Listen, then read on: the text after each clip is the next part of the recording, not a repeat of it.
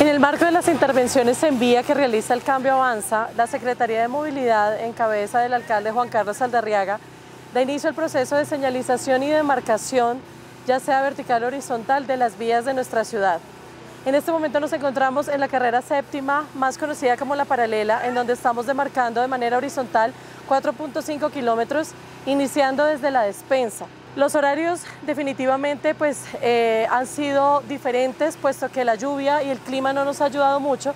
Por eso invitamos a toda la comunidad a que nos colabore y entienda los desvíos que estamos haciendo en este momento, teniendo en cuenta que estamos utilizando los beneficios del clima y sobre todo la posibilidad de poder hacer las demarcaciones de una manera mucho más rápida y óptima. Tenemos en cuenta también algunas zonas escolares, eh, algunos puntos estratégicos que hemos estado demarcando, líneas laterales, Estamos colocando los estoperoles, todo con el fin de reducir la accidentalidad y generar una política y una señalización de seguridad vial para todo nuestro municipio.